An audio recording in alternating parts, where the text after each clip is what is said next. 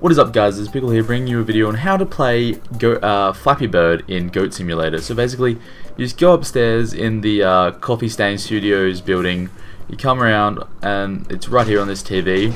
All you do is go up to it and press R, and you have to keep, you know, tapping R as if you're tapping your screen in the game to fly. Um, and if you get 10 flaps, uh, 10 dodges in a row, that gives you an achievement.